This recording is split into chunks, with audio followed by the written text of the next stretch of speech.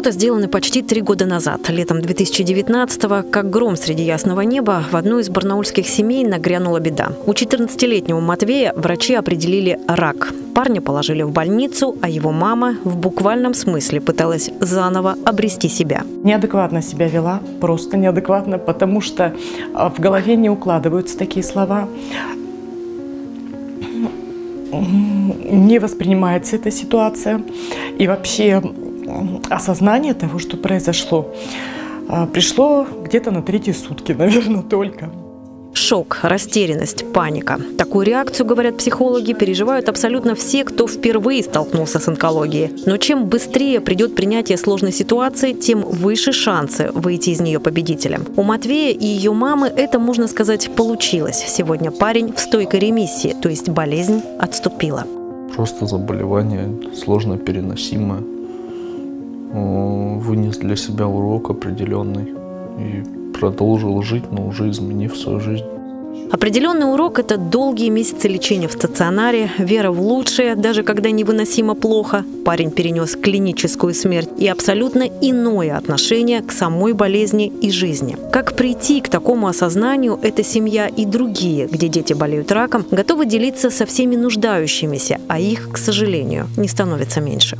Я, конечно, здесь очень сильно удивилась, что очень много, очень много больных детей лейкозом, потому что, ну, когда поступались, нам поступило очень много детей, и как бы они поступают, и поступают, и поступают, как бы, что прям, не знаю, как простуда это уже. Дочка Марины, Есения, заболела полгода назад. С тех пор отделение онкогематологии стало для нее вторым домом. В первом остались муж и двое сыновей. Трудно всем, но никто не отчаивается. Несмотря на сложный путь, лечение продлится не меньше двух лет, прогнозы хорошие. Какой цвет это? Это? Какой цвет? Синий. Правильно. А это какой цвет? Это? Какой цвет? Зеленый. По словам детских онкологов, сегодня уже в 80% случаев рак победить удается. Да, по-прежнему исход во многом зависит от стадии заболевания и вида опухоли. Особо агрессивные образования разрушению поддаются сложно, хотя и здесь есть определенный прогресс. Живот болит? Давай смотреть. Давай, давай, давай. И пойдешь в игру. Да целом же методики лечения по европейским медицинским протоколам высокоэффективны, говорят специалисты. Но в их основе все те же труднопереносимые химия и лучевая терапия. Снижение токсичности этих препаратов сейчас главная задача для ученых-медиков всего мира. Новые протоколы предполагают снижение токсичности. То есть проведение такой терапии, при которой эффективность останется такой же, а токсичность меньше последние годы в детской онкологии начали применять инновационную технологию лечения рака – таргетную или по-другому прицельную терапию. Она считается щадящей, поскольку не разрушает здоровые клетки. Правда, пока подход избирательный. Препараты ставят не всем маленьким пациентам, так как современные лекарства не прошли широких исследований. Провести их среди детей сложнее, чем среди взрослых, но в любом случае, подчеркивают врачи, для каждого больного разрабатывают свой план лечения. Проводимая терапия, она индивидуальна. И как бы мы ни говорили о средних показателях, а процент это средние показатели, достоверно никто вообще из врачей в мире не может сказать, как у конкретного ребенка будет протекать лечение и насколько оно будет эффективно. А это значит, что помимо чисто медицинских факторов, стадии заболевания, вида опухоли, огромное значение в ходе лечения имеет эмоциональное состояние ребенка. Устала в больнице? Очень. Домой хочется? К папе, к Еве. Ну, ко всем хочу.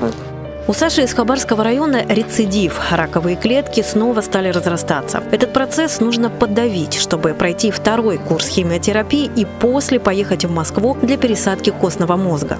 Пока у нас анализы упали, никак не поднимается. Все упало. Лейкоциты у нас 0,4, тромбоциты, гемоглобин. Вот ту неделю все, то тромбоциты переливали, то гемоглобин. Комаровой в отделении онкогематологии находится уже полгода. Мама мальчика признается, что за это время от нее отвыкла младшая дочь. Сейчас ей 9 месяцев. Марина с трудом сдерживает слезы, но не сомневается в успехе лечения. Ничего. Выкрутимся, все будет хорошо.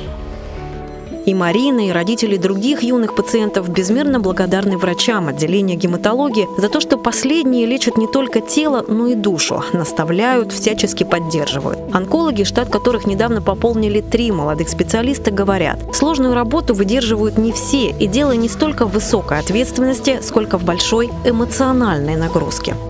Конечно, ты через себя это все пропускаешь, всех детей как бы как бы ни говорили, то, что вот нельзя близко к сердцу воспринимать. Со временем, конечно, это может быть как-то притупляется, то есть ты не так близко воспринимаешь, но каждый ребенок индивидуален, каждому ребенку, то есть ты чувствуешь свои какие-то чувства, и ну, это невозможно просто не чувствовать как-то, не воспринимать чувствовать, воспринимать, но не уходить в депрессию. Родителям болеющих детей помогает психолог отделения. Он учит восстанавливать и поддерживать правильное психоэмоциональное состояние, которое, безусловно, передается ребенку. По мнению психолога, столкнувшись с сильным стрессом, важно не думать постоянно о будущем, а учиться жить настоящим. Постараться погрузиться в это настоящее. То есть сейчас предстоит, например, диагностика, полная, да, например. Дальше будет следующий этап, это будет разработано химиотерапия или там какая-то другая, лучевая, то есть этапы лечения. Какие могут быть последствия? То есть все очень четко, примерно хотя бы. Да? Мы же не можем на 100% быть уверены, но мы эти шаги проговариваем очень четко и ясно. И стараемся настроить человека на настоящий момент. Важно также не замыкаться и принимать помощь от всех неравнодушных. Постояльцам отделения помогают сотни волонтеров. Активно откликаются многие вузы и школы, некоторые компании. На протяжении многих лет организуют для пациентов онкогематологии разные мероприятия, дарят подарки. Соку, вира, вира, соку, пачи, соку, вира. Том, что отзывчивых до чужой беды людей становится больше, не сомневается художник Юлия Губернаторова. Она сама примкнула к числу волонтеров онкоотделения 7 лет назад. Проводила с пациентами занятия по живописи. После выписки многие дети пожелали продолжить обучение уже в студии Юлии. Так появились первые смешанные группы, где вместе со здоровыми занимались выздоравливающие дети, что помогало социализации последних. Когда началась пандемия, я подала заявку на участие в президентском гранте и а, создала онлайн-школу по арт-реабилитации для детей с онкологией и их родителей. Вот этот проект существовал в течение года на э, средства президентского гранта у нас на территории Алтайского края. А сегодня проект э, существует вот чисто на моей благотворительной основе. Дети пишут картины, их выставляют на продажу, а вырученные деньги идут либо на лечение, либо на подарки для больных раком детей.